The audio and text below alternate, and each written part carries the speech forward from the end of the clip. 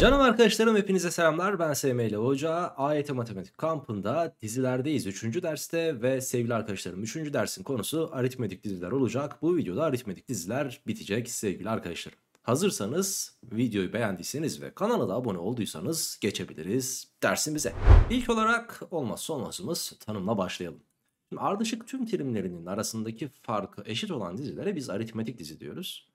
Terimlerin aralarındaki farka da ortak fark diyoruz arkadaşlar. Ama ortak farkı genel itibariyle R ile veya D ile gösteriyoruz. Bazı kaynaklar D ile bazıları R ile gösteriyor. Ben R ile göstermeyi seviyorum. Daha matematiksel bir dille her n pozitif doğal sayısı için eğer an artı 1'den an'i çıkardığımızda yani bir sonraki terimden bir önceki terimi çıkardığımızda eğer r kalıyorsa yani herhangi bir e, terimden bir terimi çıkardığımız zaman aradaki fark daima eşitse biz buna r diyoruz ve buna ortak fark diyoruz. Yani o zaman burada şunu söyleyebiliriz. Eğer bu dizinin terimleri azalarak gidiyorsa e, buradaki r'nin pozitifliğine dair herhangi bir şey söylemedik bak burada. Negatif olabilirmiş r. Tamam mı? Şimdi gençler dizinin genel terimini senle birlikte elde edelim. Demiş ki bak o halde A1 A1'e eşit oldu. Aşikar zaten ortada. E peki A2 ne olur? A1'in üstüne R ekleyerek elde edebilirim ben A1'i. Daha sonrasında A3'ü nasıl elde, eder, elde ederim? Bir R daha eklerim. Böylelikle A1 artı 2R olur. Peki A4 nasıl elde edilir arkadaşlar? A1 artı 2R'nin üzerine bir R daha eklerim. Böylelikle A1 artı 3R'yi elde ederim. Bak dikkat et şimdi. Birincide hiç R eklemedim. 0 R ekledim. 2'de bir tane R ekledim. 3'te 2R ekledim. 4'te 3R ekledim. Yani bir eksiği kadar R ekliyorum. O zaman ben dizinin genel terimini oluşturabilmek adına burası n ya. A1'in üstüne n eksi bir tane R eklersem eğer işte buna da sevgili arkadaşlarım aritmetik dizinin genel terimi diyebilirim. Yani öyle formül ezberlememe şunu bunu yapmama falan lüzum yok. Kendimi korkutmaya niye ihtiyacım olsun ki? Tamam? Ya işte AYT matematikte çok formül var. Ya güzel kardeşim çok formül var evet haklısın ama bütün formüller zaten bir mantık dahilinde kolay bir şekilde çıkarılabiliyor. Ha tamam bazıları biraz karmaşık olabilir ama zaten 3-5 tane onları da ezberle. Tamam. Şimdi aşağıya bir aritmetik e, dizi örneği verip bu örnek üzerinden aritmetik dizinin özelliklerini bir inceleyelim seninle beraber. Mesela burada 9 terimli bir aritmetik dizi var. 3, 7, 11, 15 diye ilerliyor. E sen burada e, ortak farkın ne olduğunu görüyorsun. Bak 3'ten 7'ye 4 artmış. 7'den 11'e 4, 11'den 15'e 4, 15'ten 19'a 4 hep 4 artarak, artarak ilerlemiş. O zaman benim ortak farkım 4'tür kardeşim diyorsun. Tamam mı? Daha sonra ben bu dizinin genel terimini nasıl elde ederim? Bak çok basit. Genel terim formülüne de bağlı olmak zorunda değilsin. Ben bunu sana dizilerin ilk dersinde sağ tarafta en üstte öğrettim. Nasıl yaptım? Şöyle. Ortak fark eğer 4 ise direkt 4n yazıyorsun. Birinci terim 3 ya. Yaz bakayım 1 yerine. Burada ne geldi? 4 geldi. 3 gelmesi için 1 çıkarman gerekiyor dersin. Ve işte al sana dizinin, aritmetik dizinin genel terimi. Buradaki aritmetik dizinin genel terimi 4n eksi 1'miş. Bak zaten formüle bağlı olarak yaparsan da birinci terimin üstüne n eksi 1 tane 4 ekliyorsun. R ekliyorsun. E buradaki işlemleri yaptığın zaman da yine 4n eksi 1 geliyor zaten. Tamam ister formülle yap ister benim sana öğrettiğim mantıkla yap. İkisi de aynı şey. Hiçbir farkı yok. Bir de bu aritmetik dizilerde eğer ki ben R'yi yine bulmak istiyorsam mesela A6'dan A3'ü çıkarırsam yani 23'ten 11'i çıkardım arkadaşlar 12. Peki A6 ile A3 indisleri arasındaki fark ne? 3. 12'yi 3'e bölersem yine 4'ü bulurum. Yani terimden bu terimi çıkardım ve indislerini de çıkarıp oranlarsam ben gene R'yi bulmuş olurum. Tamam. O halde şöyle bir iddiada bulunabilir miyiz? Mesela örnek veriyorum ben eğer 10. terimden ikinci terimi çıkarırsam 8 tane R bulurum diyebilir miyiz? Tabii ki diyebiliriz. Tamam sıkıntı yok. Yani sonuç olarak A2'nin üzerine ben 8R eklersem yani şunu şu tarafa at. A10 eşittir. A2'nin üzerine 8R eklenerek elde edilemez mi? Edilir. Demek ki o zaman A10'dan A2'yi çıkarırsam da 8R kalır. E hocam A7'den A3'ü çıkarırsam o zaman da 4R kalır. Yani hiçbir e, sevgili arkadaşlarım zorluğu yok gördüğün üzere. Şimdi her terim kendine eşit uzaklıktaki iki terimin toplamının yarısıdır demiş bir de. Yani aritmetik ortasıdır. Şimdi bu ne demek? Örnek veriyorum. A2 ile A2 ile gittim abi A8'i seçtim. Tamam. Burada A2'nin 7 olduğunu bunun da 31 olduğunu görüyorum. İkisinin aritmetik ortalamasını bul bakalım. 7 artı 31 38 yapar. 2'ye böldüm. Neyi verdi bize? 19. Bak tam ortadaki terimin bu buraya 3 terim uzaklıkta. Bu buraya 3 terim uzaklıkta. Tam ortadaki terimin 2 katını verdi bunların toplamı. O halde ben bunları toplayıp 2'ye bölersem yani aritmetik ortalamasını bulursam ortadaki terimi bulmuş olurum zaten. Tamam. Evet burada da örneklerimiz mevcut. Onları da tabii ki inceleyebilirsin. 21. örneğimize bir bakalım. Diyor ki genel terimleri verilmiş olan dizilerden aritmetik dizi olanların ortak farkı mı? Bak aritmetik dizi olanların genel terimleri hep bu şekilde oluyor. Yani birinci dereceden oluyor. Ve birinci derecedenken bunun baş katsayısı olan 4 bana hep R'yi veriyor. Şimdi aşağı bakalım. 8 eksi 2 yani birinci dereceden mi? Evet birinci dereceden. O zaman n'nin katsayısı kaç burada? Eksi 8. O zaman bunun da r'si eksi 8'dir derim. Geldim buraya. Birinci dereceden mi? Evet. Baş katsayısı ne 5? O zaman bunun da r'si 5'tir. Geldim buraya. Kaçıncı dereceden? İkinci dereceden. Bu bir aritmetik dizi bile değil o halde. Bunun r'si olmaz yani. Tamam. Buraya geldim. Üstel biçimde verilmiş. Üstel fonksiyon değil ama üstel biçimde verilmiş bir sayının kuvveti. O zaman bir aritmetik dizi belirtmez. Bak burası birinci derecedendir. E, o zaman bunun katsayısı da 3 bölü 2 ise R'si de 3 bölü 2'dir. Burası da birinci dereceden, birinci dereceden baş katsayısına eksi 1 bölü 2. Demek ki bunun da R'si eksi 1 bölü 2 olacak diyebiliriz. Evet devam edelim. 22. örneğimizle. Diyor ki bana. Çayımızı da yudumlayalım. AN bir aritmetik dizi olmak üzere. 3. terim 9'muş, 17. terim 51'miş, 10. terim soruluyor. Bak şimdi güzel kardeşim. 3. terim 17. terim 10. terim. Tamam. İki yoldan çözelim. Bunun buraya olan uzaklığı 7R mesafeli. Bunun da buraya olan uzaklığı 7R mesafeli. He, o zaman bu 9 sa bu 51 ise ben bu ikisini toplarım 60. 2'ye bölerim ve tam ortayı bulurum. Yani 30. Demek ki A10 kaçmış? 30'muş. Soru bitti. Farklı bir yoldan çözelim. Onu da şöyle diyelim. Ben eğer A17'den A3'ü çıkaraydım Tamam mı? 51'den 9 çıktı 42 kaldı. Bana neyi verirdi biliyor musun? 17 ile 3. arasında 14 terim fark olduğu için 14 R'yi verirdi ve R'nin buradan 3 olması gerektiğini anlayabilirdim. Şimdi bu cepte. R3 ise A3'ün üzerine ben 7R eklersem 10. terimi elde etmem gerektiğini de biliyorum. O halde A3 9'du. E 7R de 21'dir. Toplarsam 30'u yani bana neyi verir? Cevabı verir. Demek ki cevabımız 30'muş diyebiliriz. İster uyanıklık yapıp bu yöntemle çöz, istersen de üst taraftaki uyanıklık değil çok normal olması gereken çözüm. İstersen öyle çöz. Hiç fark etmez. Tamam. Sen doğru cevabı bul da güzel kardeşim. Önemli olan burada hedef. İlk terime eksi 9 yani A1 kaçmış? Eksi 9'muş. Ortak farkı yani R'si kaçmış? E o da 4'müş hocam. Bu aritmetik dizinin x'inci terimi yani AX eşittir 31'miş. Buna göre x kaçtır diye soruluyor. E şimdi ben A1'in üzerine bak. X ile 1 arasındaki mesafe ne? X eksi 1. A1'in üzerine X eksi 1 tane R ekleyince X'inci terimi elde ederim diyeceğim. Örnek veriyorum. Yani burada X 7 olaydı. A1'in üzerine 7'den 1 çıktı. 6 tane R ekleyince A7'yi elde etmeyecek miydim? Bak aynı mantık. Hiçbir farkı yok. Tamam. Şimdi ben şurayı sileyim. Kaldığım yerden işlemime devam edeyim. A1 kaçmış hocam? Eksi 9. Artı R'miz kaçtı? 4'tü. O halde x eksi 1 çarpı 4. X'inci terimi kaçmış? 31. Şu eksi 9'u karşı tarafa fırlatırsan 4 çarpı x eksi 1 eşittir 40 yapar. Her iki tarafı 4'e bölersem x eksi 1'in 10 olması gerekiyor ve x'in de kaç olması gerekiyor? 11. Bizden ne isteniyordu? x. E, hayırlı olsun o zaman. Tamam hayırlı olsun diyelim. Daha ne diyeceksin yani? Çözmüşüz o kadar. Devam. 24. örnek. KPSS'ye hazırlanan Teoman çalışan çalışmalarına Haziran ayında başlamış. Ve her ay çözdüğü soru sayısına eşit miktarda artıra artıra artıra artıra gitmiş öyle. Şimdi aşağıda Teoman'ın 2022 Ekim ve 2023 Şubat aylarında çözdüğü soru sayıları verilmiş. Bak şimdi 2022 Ekim'den bahsediyor. Ekim. Tamam. Kasım var arada.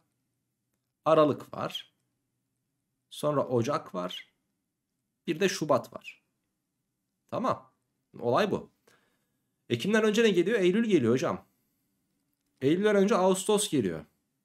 Ağustos'tan önce Temmuz geliyor. Temmuz. Pekala. Şimdi bak iyi dinle beni. Diyor ki 2022 Ekim'de yani şurada 672 soru çözmüş. Şubat'ta da 964 tane soru çözmüş Teoman. Helal olsun Teoman'a. Tamam. Bizden istenen 2022 Temmuz'da şurada kaç tane soru çözmüştür? Şimdi her ay belli bir miktarda artırarak gittiğini biliyoruz ya biz. Mesela ben buraya birinci terim dersem 2, 3 bu dördüncü terim olur. 5, 6, 7 bu da 8. terim olur. Şimdi A8 ile A4 arasındaki mesafe nedir gençler? 4R midir? Şimdi o zaman ben 4R'yi 964'ten 672'yi çıkararak bir güzel elde ederim. Şimdi eğer burası 664 olsaydı 300 kalırdı. Ee, bu bundan 8 eksik olacak. 292 mi diyeceğim o halde. Doğru mu? Pekala. Her iki tarafı 4'e bölersem R'yi bulurum. Ee, 29'un içerisinde 7 defa, 12'nin içerisinde 3 defa. R 73'müş arkadaşlar. Yani her ay çözdüğü soru sayısı miktarını 73 artırarak ilerliyor. O halde ben bir tane 73 azaltırsam Eylül'ü, bir 73 azaltırsam Ağustos'u, bir 73 daha azaltırsam Temmuz ayını bulmuş olurum.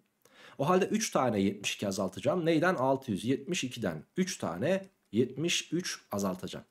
Şimdi 672'den yani 3 kere 73 219 yapar. 219'u bir güzel çıkaracağız. 12'den 9 çıktı 3.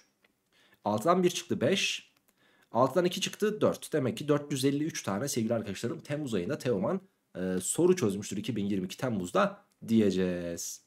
Şimdi bu sayfayı bitirdik. Geçtik bir diğer sayfaya. 25. soru bak kolay bir soru. Beraber yapalım. Beraber çözelim. Her şekildeki birim kare sayısını veren yukarıdaki örüntünün kuralını bul demiş abi. E tamam. Şimdi burada kaç tane var? 2 tane. Buraya 4 eklemiş bak. 6 tane. 4 daha eklemiş. Burada 10 tane var. İşte tamam bunun kuralını bulacaksak 4'er 4'er artmıyorum. O zaman 4 n derim. Birinci şekilde 2 tane var ya. O zaman ben buraya 1 yazarsam burası 4 geliyor. 2 gelmesi için 2 çıkarmam gerekiyor. Al sana kural. 4 n eksi 2. Bak şimdi mesela örnek veriyorum. İkinci şekilde kaç tane vardır diye sorarsa artık 2'yi burada yerine yazarsın. 4 kere 2 8 2 çıkardım 6. Üçüncü şekilde 4 kere 3 12 2 çıkardım 10. Bak hepsi geliyor. Gördün mü? Artış miktarı olan 4'ü n'nin kat sayısı olarak belirliyorsun. 4 ne diyorsun? Artık istediğini yerine yaz. Mesela birinci şekilde 2 tane var ya. Biri burada yerine yazdın. 4. 2 gelmesi için 2 çıkarman lazım. Bu kadar basit bir olay. Ha şunu da yapabilirsin. İkinci şekilde kaç tane var? 6. 2 yerine yazdım. 4 kere 2 8. 6 gelmesi için 2 çıkarman lazım. Yani bunu bu şekilde düşünerek basit bir biçimde halledebilirsin. 26. Bir aritmetik dizi. AN bir aritmetik dizi olmak üzere. A18'den A10'u çıkarırsam ne bulurum? Hocam 8 tane R bulurum. Eşittir 56'ymış. O halde R'miz kaç olur? Hocam 7 olur tabii ki. Burası ne?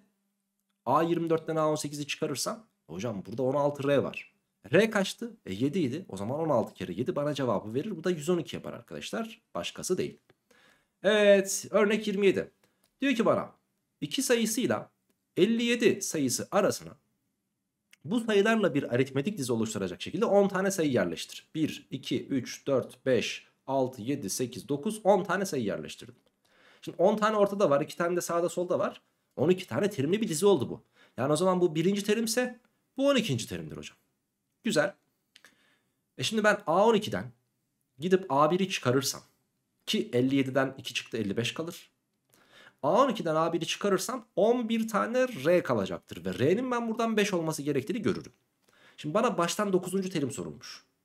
Yani neresi? Burası 11, 10. Burası da 9. terim. Yani şu sorulmuş. İster şöyle yaparsın. A1'in üzerine hocam ben 8R eklersem eğer 9. terimi bulurum. İstersen de A12'den hocam 3 tane R çıkarırsam A9'u elde ederim diyebilirsin.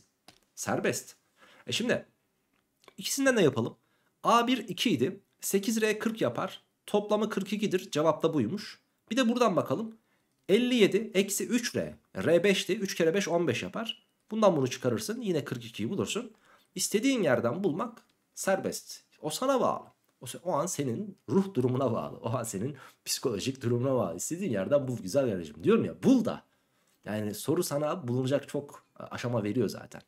İstediğin aşamadan, istediğin yoldan, istediğin türden devam et. Sonucu bul. Benim için önemli olan o. 28. örnek. 2x artı 7, 7x eksi 1 ve 10x eksi 5. Bu terimler aritmetik bir dizinin sırasıyla 6. 7. ve 8. terimleri. Şimdi bu A6, bu A7, bu da A8. Tamam. Bunlar aritmetik dizi ise şundan şunu çıkarırım hocam. 5x eksi 8 gelir. Bu R'dir. E bundan da bunu çıkarınca R'yi bulurum. E bu da kaçmış? 3x e, eksi 4. Bunlar birbirine eşitse ben 3x'i bu tarafa gönderdim. Eksi 8'i bu tarafa gönderdim. Böylelikle 2x eşittir. Kaç oldu hocam? 4. O zaman x kaçtır? Tabii ki 2'dir. x 2 ise a6, a7 ve a8'i artık bulabilirim ben. Nasıl bulacağım? x 2 ise şurada yerine yazdım 11. x 2 ise burada yerine yazdım 13. Burada yerine yazdım. Hop 15 geldi. Bizden istenen şey ilk 3 terimin toplamı. Şimdi ben A1 artı A2 artı A3'ü merak ediyorum. Tamam mı? Bunu merak ediyorum. Eğer A6'dan A6'dan 5 tane R çıkar, çıkarmış olsaydım ben A1'i bulurdum.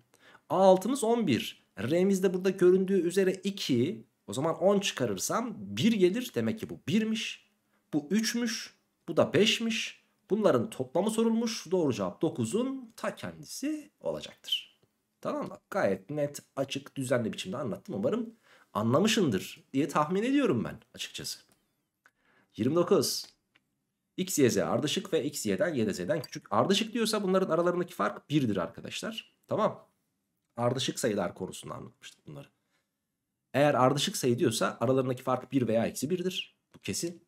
Ee, hocam mesela 2, 4, 6, 8 bunlar ardışık olmuyor mu? Ardışık oluyor ama mesela bunlar ardışık çift sayılardır. 1, 3, 5, 7 olursa ardışık tek sayılardır diye belirtmek zorunda. Tamam ardışık eyvallah ama sadece ama sadece ardışık sayılar diyorsa aralarında 1 veya eksi 1 fark vardır. Bunu unutmuyorsun.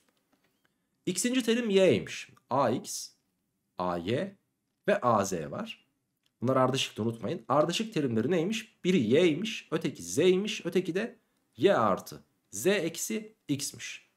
Z'nin diyor x ve y türünden eşitini bul diyor bize. Tamam buluruz. Şöyle yapalım. Şunla şunu toplarsam ortadakinin iki katını verecektir. Topla bakayım bunları. 2y artı z eksi x eşittir. Ortadaki 2z idi. 2z, z'nin iki katını verdi. 2z oldu. Z'nin x ve y türünden eşitini istiyorsa demek ki z'yi yalnız bırak diyor. O zaman şu z'yi aldım. Şu z'nin yanına postaladım. Ne oldu hocam? 2y artı eksi x eşittir z oldu. Bu da z'nin x ve y türünden bana eşitini vermiş oldu diyeceğiz. 30. örneğimiz. Bir diyor ABCD dik, dik e, üçgeniymiş, üçgenmiş bu özür dilerim. Şöyle diyelim o zaman. Şöyle, şöyle ve şöyle diyelim. Tamam. Ortak farkı 4 olan bir aritmetik dizinin ardışık üç terimdir. Şimdi o zaman e, en büyük kenar hipotenüs en büyük terim olacak o zaman değil mi? Yani ben buraya x dersem Burası x artı 4 mesela. Burası da x artı 8 olmalıymış. Pekala buna göre ABC üçgeninin alanı. Aralarında 4 e, fark olup sevgili arkadaşlarım. Bir dizimde 3 terim olacaksa bunlar. 3, 4, 5 üçgenin aralarında hani kenarlar arasında birer fark var ya. 4 ile çarparsam 12, 16, 20 bak aralarında 4 fark oldu. Demek ki en küçüğü 12'ymiş. Bir diğeri 16'ymış. Bir diğeri 20'ymiş. E bize alanı sorulmuş. Alanını nasıl bulurum arkadaşlar? Taban çarpı yükseklik bölü 2. Taban çarpı yükseklik bölü 2. Yani cevabımız 12 çarpı 16 bölü 2 olacakmış. 2 ile 12'yi sadeleştirdim. 6. 6 kere 16 bana 96'yı verir. Demek ki cevabımız buymuş diyelim. 31. örnek. Diyor ki boyları toplamı 216 santim olan 3 tane ağaç fidanı boyları artan bir aritmetik dizinin ardışık elemanları olacak biçimde soldan sağa doğru toprağa dikilmiş.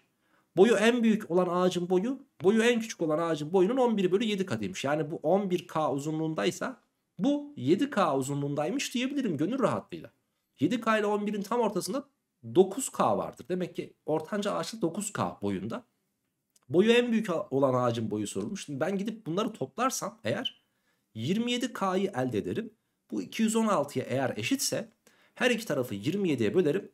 K eşittir. 216'nın içinde kaç tane olacak sevgili arkadaşlarım? Şöyle bir düşünelim bakalım. Ee, bunların toplamı 27K yaptı.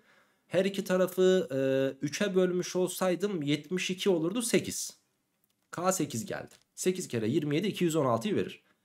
Şimdi boyu en büyük olan ağacın boyu sorulmuştu. Yerine yazarsın. 11 kere 8 eşittir 88 dersin. Ortancayı sormuş olsaydı 8 kere 9'dan 72. En küçüğü sormuş olsaydı 8 kere 7'den 56 derdik arkadaşlarım. Demek ki burada cevabımız bizim neymiş? 88 olacakmış. Devam. 32. soru. Log 4, log 8, log A, log B, log C. Bu sayıları e, aritmetik bir dizinin ardışık 5 tane terimiymiş. E, buna göre bu dizinin e, ilk olarak baştan kaçıncı terimi 3'ten büyüktür diye soruluyor. Şimdi Şöyle mesela bu birinci terim ya. Bu ikinci terim. E, log 4, log 8 aritmetik dizi ise ben log 8'den eğer şöyle yapalım. Log 8'den log 4'ü çıkarırsam eğer bu bana r'yi vermek zorunda. Log 8'den log 4 nasıl çıkar? Hocam şöyle log 8 bölü 4 olur. Yani log 2 olur burası. Log 2 neymiş? R'ymiş. Şimdi ben bunun üzerine logaritma 2 eklersem artık burası logaritma 16 olacaktır. Yani A 16'ymış. Log 2 daha eklersem log 32 olur. Biliyorsun eklerken içleri çarpılıyordu. Eklersem log 64 olur. Şimdi bizden istenen ilk olarak baştan kaçıncı terimi 3'ten büyüktür? Bu isteniyordu değil mi? Şimdi düşünelim hocam düşünelim. Ben 3'ten büyük olmasını istiyorsam logaritma x varmış bu 3'ten büyük gelmesi için bunun tabanı 10 ya.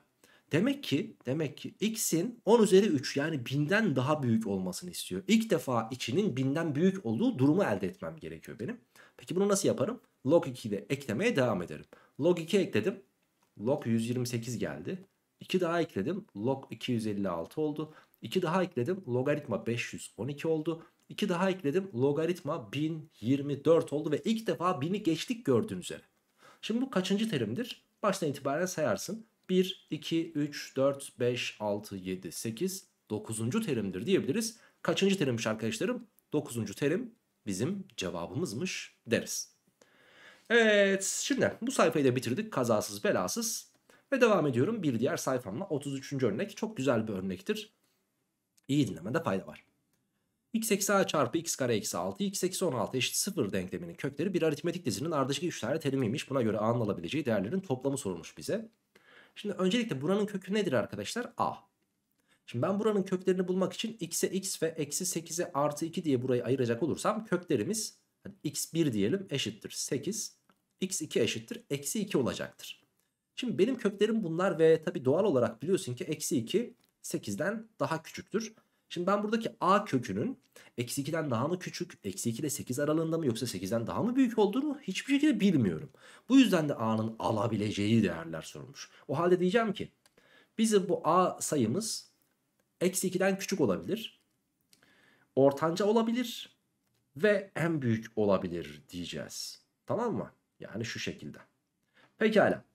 Şimdi eğer en küçükse bununla bunun arasındaki fark 10 sa 10 daha çıkarırım a eksi 12 olur. Eksi 2 ile 8'i toplarım 6 2'ye bölerim a 3 olur. Eksi 2'den 8'e 10 fark var. 8'den de a'ya 10 fark olacak diye burası da 18 olabilir. Yani böylelikle a'nın alabileceği değerler eksi 12 artı 3 ve 18 olacaktır. Bunları toplamı sorulmuş bize. Şu ikisini toplarsam eksi 9 18 eklersem ne olur arkadaşlar? 9'u elde etmiş olurum. Dolayısıyla cevabımız pardon 9 mu? Eksi 9 evet aynen 9 olur. Cevabımız 9 olacakmış diyebiliriz. Geçtim 34'e. Şimdi bir esnafımız var. Bu esnaf mağazasını yenilemek için bankadan faiz ve masraflar dahil toplam 12 ayda ödeyeceği 36 bin TL kredi kullanmış. Esnaf bankaya diyor ki artan taksitli kredi modeli kullanmak istediğini belirtmiş ve bankada esnafa taksitleri her ay belli miktarda artan bir ödeme takvimi çıkarmıştır. E, esnafın ödeyeceği e, son taksit kaç liradır diye soruluyor bize. Şimdi şöyle diyelim Kaç tane taksit olacak? Birinci, ikinci, üçüncü taksit, dördüncü taksit diye devam edelim. Şöyle ben yazayım arkadaşlar size. Yedinci, sekizinci, dokuzuncu, onuncu, on birinci ve on ikinci taksit diyelim. Tamam ekrana sığdı mı? E, bir şekilde sığdı. Birazcık küçültürsek daha da iyi olacaktır. Şöyle. Şimdi bu adamın 5. E, taksit yani şurası 2700'müş. Tamam 2700 TL. Toplamda masraflar dahil her şeyle ödeyeceği 36 bin TL'lik bir kredisi var.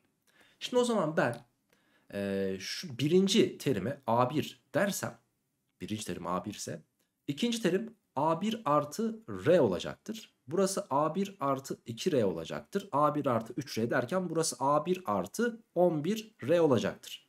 Bunların tamamının toplamının ben 36 bin eşit olduğunu biliyorum. Burada toplam 12 taksit olduğu için 12 tane A1 vardır. Artı bir de bak R, 2R, 3R, 4R, 5R, 11R'ye kadar olan toplam vardır. Yani 1'den 11'e kadar olan sayıların toplamı nedir? 11 çarpı 12 bölü 2'den 66'dır. Demek ki 66 tane de R'miz var burada. Burada toplam 36.000 yaptığını görüyoruz. Peki işlem kolaylığı açısından ben bu denklemi sadeleştirebilirim. Mesela 6 ile sadeleşir bunlar. 2 tane A1 artı 11 tane R eşittir 6000 yaptığını görürüz. Güzel. Şimdi 5. taksitimiz A1 artı 4R değil midir? O halde ben A1 artı 4R eşittir dedim. 2700 olduğunu söylerim. O halde bunu 2 ile çarparsam da 2A1 artı 8R eşittir 5400'dür diyebilirim.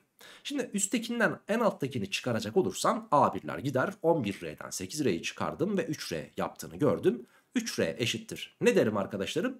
6000'den 5400'ü çıkardım 600 kaldı. R kaçmış? Tabii ki de 200.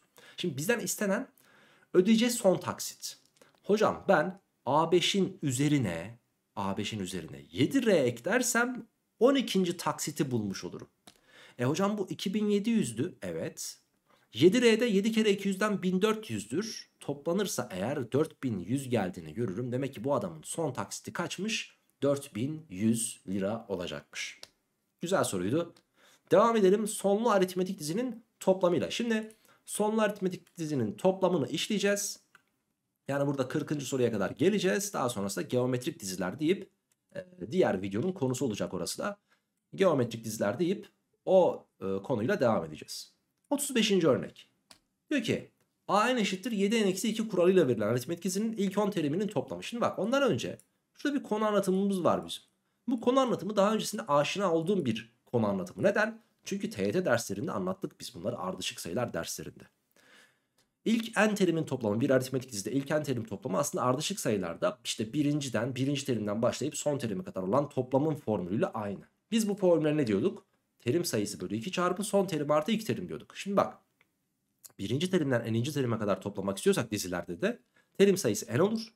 2'ye bölerim. a n son terimdir. A1 ilk terimdir. Yani aynı formül sadece daha havalı görünüyor. Niye? AYT çünkü. Tamam AYT ya ondan. Daha havalı görünüyor. Yani senin burada gözünü korkutmak istemiyorum. Lakin basit. Tamam. Tam tersini söylemem gerekiyordu ama. Lakin korkmalısın falan demem gerekiyordu ama öyle değil arkadaşlar. Ciddi anlamda basit. Sen sadece burada e, dikkat etmen gereken şey şunun mantığını bilmek. Yani şuradaki TYT'deki formülün mantığını elde edebilmek. Şimdi geldim buraya bak. Bu kuralla verilen dizinin ilk 10 teriminin toplamı sorulmuş ya. Öncelikle birinci terim ne abi? Birinci terim 1 yerine yazarsam 5 gelir. Son terim içinde A10. Bu da eşittir ne gelir? 10 kere 7. 70. 2 çıkardım 68. Güzel. R'si kaç bunun? E hocam R'sinin de 7 olduğunu görüyoruz zaten. E tamam.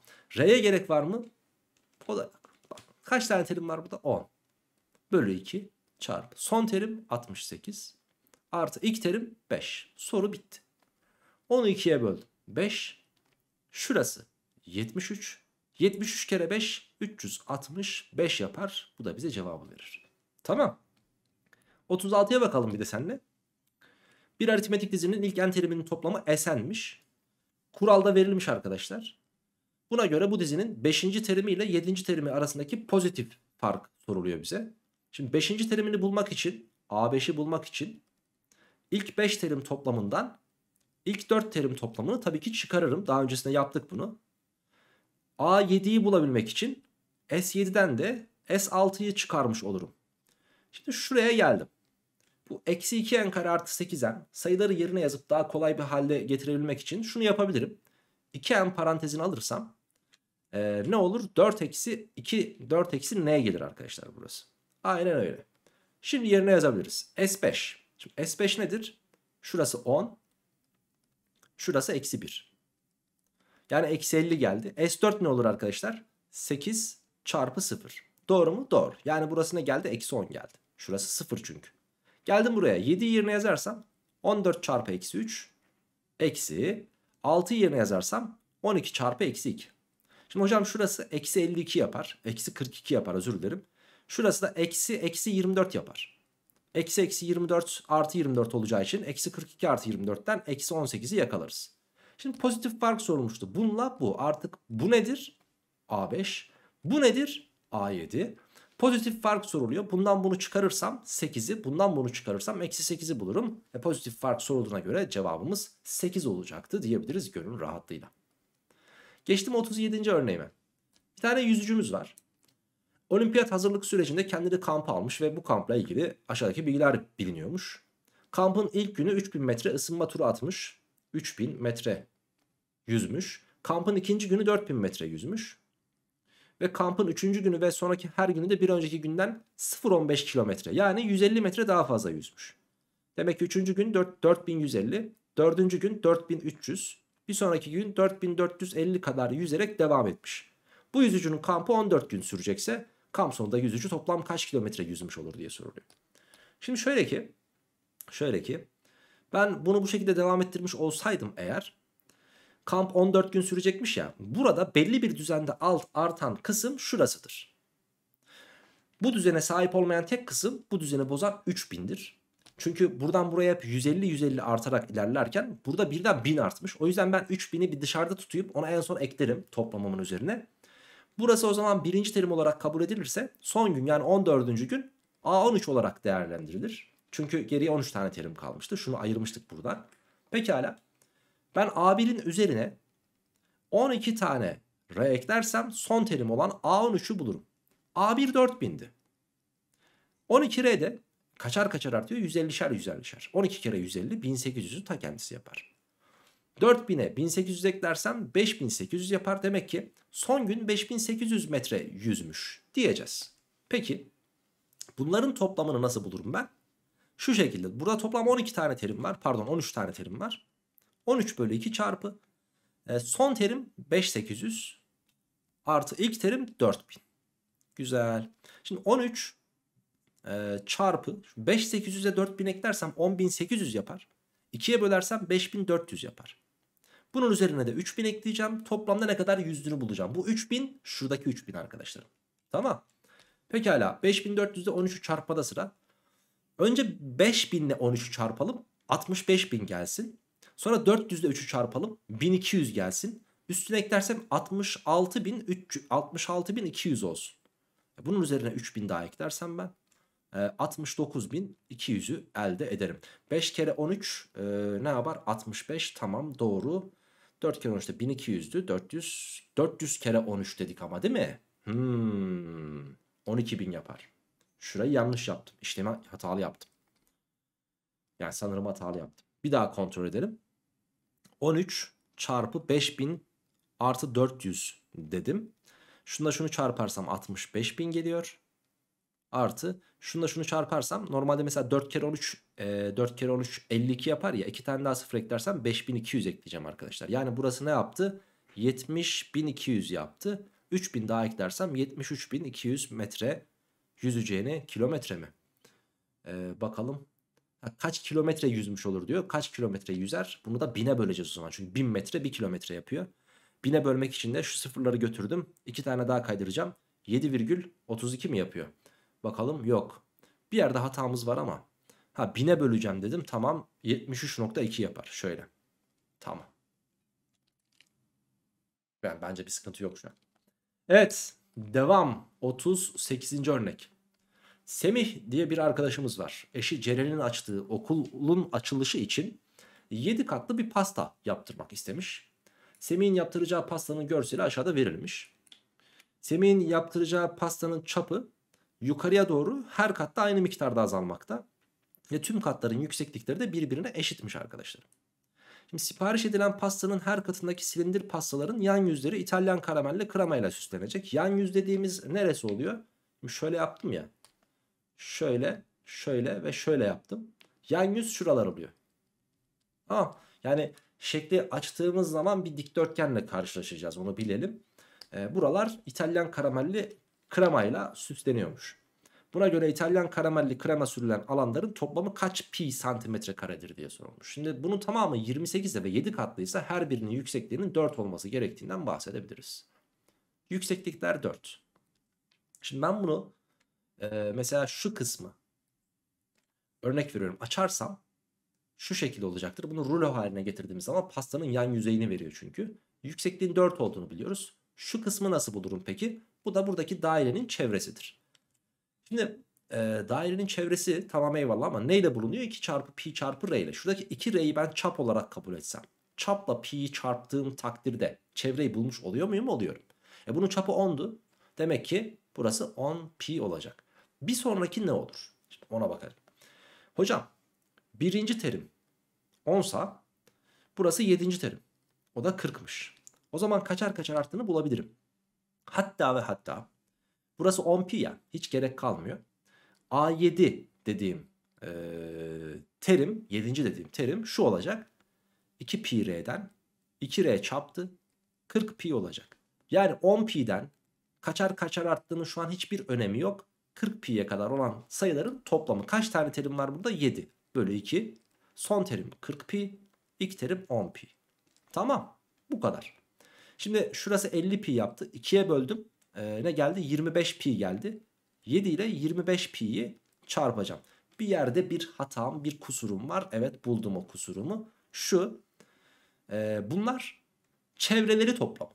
Tabi alan bulabilmek için ben bir de bunu 4 ile çarpmam gerekiyor. Bak burası çarpı 4 dersem artık alanları toplamda bulmuş olurum. Şurada hep 4 ile çarpmayı unuttum çünkü. Şurası ne yapar? 100 pi 7 ile çarparsam 700 pi bize cevabı verecektir sevgili gençler. Ve devam ediyorum 39'da. AN bir aritmetik AN aritmetik dizisinin ilk n teriminin toplamı Sn olmak üzere. Sn n çarpı 2n artı 8 bölü 2 olduğuna göre bu dizinin ortak farkı soruluyor bize. Hmm. Ortak farkı nasıl bulurum? Mesela S2'den S1'i çıkarırsam bu bana R'yi verir mi? Pardon. Bu bana A2'yi verir değil mi? S1 nedir peki? Hocam bu da A1'dir. Yani sonuçta ilk bir terim toplam demek. Birinci terimin kendisini verir. Yani ilk bir terimin toplamı. Şimdi A2'den A1'i çıkarırsam o zaman R'yi bulurum. Yani S2'den sevgili arkadaşlarım iki tane S1 çıkarınca A2 eksi A1'i yani R'yi veriyor. O halde benim yapmam gereken işlem şuymuş. S2'yi bulalım. S2 2 çarpı 10 bölü 2 yani kaçmış 10. S1'i de bulalım hocam. 1 çarpı şurası şurasını yanlış yaptım. Burayı yanlış yaptım. S2 2 çarpı 12 bölü 2 yani 12. S1 de 1 çarpı 10 bölü 2 yani 5. Şimdi S2 neymiş? 12. 2 tane S1 nedir? 2 kere 5'ten 10'dur. O zaman çıkarırsam 2'yi yani R'yi bulmuş olurum. Demek ki R'miz kaçmış? 2'nin ta kendisi gençler. Ve son sorumuz bu videodaki artık. İlk n teriminin çarpımı Pn ile gösterilen bir aritmetik dizide ilk n teriminin çarpımı diyor bak.